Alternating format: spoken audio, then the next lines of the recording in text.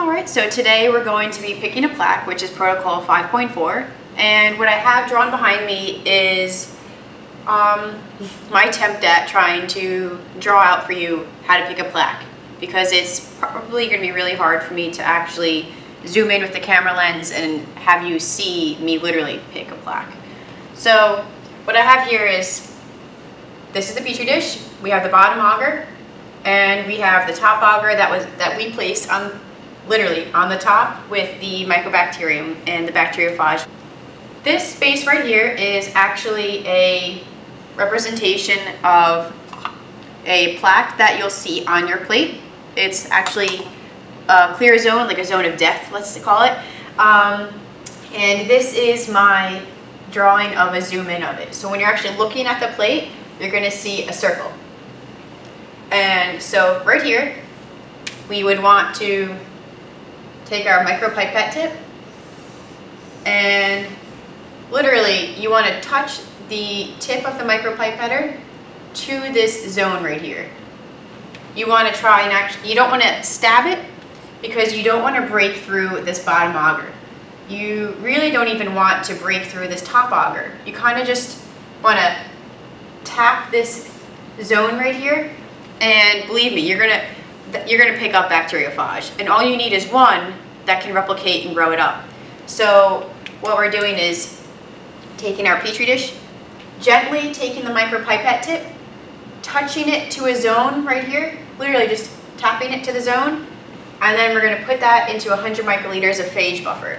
And when you take the tip, you're just going to put it in to the phage buffer microcentrifuge tube, and you're just going to swirl it around.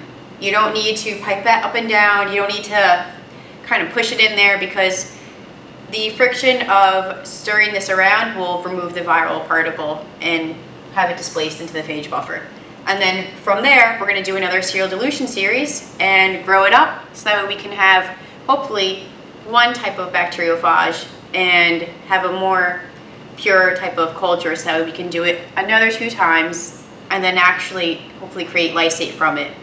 So let's actually go ahead and pick a plaque. So we've had our dilution plates growing overnight and you can see even from this distance that yay we have uh, plaque forming units grow and that means we have bacteriophage. So that's really really exciting. Um, personally it's always exciting to you know be able to see something that you weren't able to see that you collected from the environment. So with this plate, our first dilution series, um, the bacteriophage have completely cleared the Mycobacterium lawn, to be expected because remember, 10 to the minus 1 has actually the most amount of plaque forming units. It has the highest uh, viral um, amounts, let's say. 10 to the second is again cleared, you could see that there is actually no individual plaque forming unit growth. 10 to the minus third, however, look how exciting, you can actually see the plaque forming units. It's a countable number. It's the first one of the series that you'll act, that we're actually able to see the plaque forming units and the bacteriophage. So with this morphology, it's really easy to see, which is great. Some bacteriophage, though, are going to have like literally pinpoints um, of circles, or they could be really large. It's what we're actually looking at here in 10 to the minus fourth, which is um, more isolated of plaque forming units. We're looking at, it's actually a, if you want to say a ring of death, it, it is. Um, so the bacteriophage have eaten through the mycobacterium, and in that plaque forming unit in that spot could be one, it could be millions, it could be a whole bunch of bacteria and lysed it open. So that's actually it's clearing its morphology is its spot of death, if you want to call it. Um, 10 to the minus fifth, even better, even more isolated, which is probably going to be best for picking a plaque, which we'll be doing today. 10 to the minus sixth, true to the dilution series, there's only one. I don't know if you could see it, but there's actually only one plaque forming unit on this plate. So somewhere between minus 2 to the minus 3 might be best for making a webbed plate, which will be done later in the series once we've purified a plaque, which is what we're going to do by picking a plaque today. So we're going to actually take an isolated an isolated plaque forming unit, and what we're going to do is we're going to put it through another dilution series and grow it up so that way we can see better its individual morphology and actually try and only obtain one bacteriophage when realistically with this dilution we could actually have more. We could have more than one type to be honest. So with that being said, let's get started.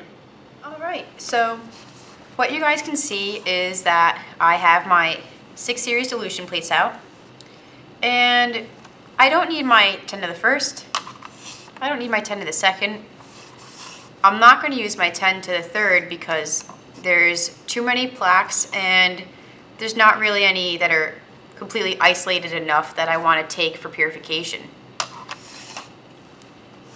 10 to the fourth, I could use this one. I could use 10 to the fifth. It's possible even I use 10 to the sixth because there's only one plaque forming unit on it. But to be honest, I'm going to use my 10 in the fifth plate. I think this one has the, um, it has one, two, three, four, five, has about six, I would say, maybe seven or eight plaque forming units. But I like this one that's right here, if you guys can see. Probably not. It's isolated, it's far away from any other plaque forming units, and I'm going to say that this one most likely would have a good chance of having just one type of phage. Now, right before you do take your plaque and pick it up, you might want to circle it on your plate. So when you flip your plate over, it makes life easier. You're also going to have your micropipette tube, um, microcentrifuge tube labeled with, I wrote phage 1 because that's, I guess, what I'm going to call it for right now. And I'm going to flip my plate over and I'm just going to take the tip of the pipetter and touch it to that zone of death.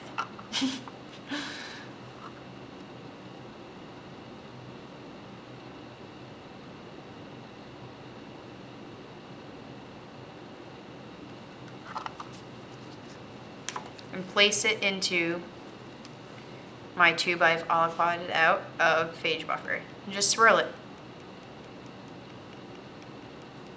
swirling it will remove the black from the micropipette. And of course, dispose. So what I have now is my plaque that I picked and I'm going to make a serial dilution series from it because I'm going to remember with that plaque forming unit you don't know if there's 1 million or 3 million, 5 trillion, who knows how many um, viruses are actually in that. So I'm going to make my series and then plate it out so that way I can see if um, there's different morphologies. Hopefully not because I picked from an isolated colony. And I want to actually see the quantity or how many do I have that I can grow to pick that webbed plate so that way I can make my lysate from.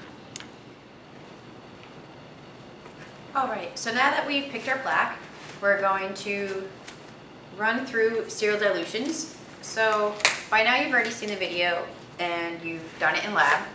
You know how to do serial dilution. And like I've said, there's a lot of repetition with these protocols. So I have my aliquot out of phage buffer because I'm going to fill each of my six tubes with 90 microliters of phage buffer. I have my phage that I've picked and I'll be adding 10 microliters of my sample to my first 10 of the first tube and moving 10 microliters over each time. And I have my six plates out. I'm going to have my name, the date, and what it is on my plates. So since this is a dilution series, you know, 10 to the minus first, second, third, fourth, fifth, sixth, we're going to have on there. But perhaps you've thought of a name for your phage. Perhaps you're not sure. But either way, you would want to label these plates with what it is. It's no longer just a direct isolation or environmental sample. You've now picked a plaque. Really cool. You actually have a phage in there. So we have our place out labeled. We have our serial dilutions that we're going to make. And we're just going to then plate our plates just like we did before for the plaque assay. And good luck.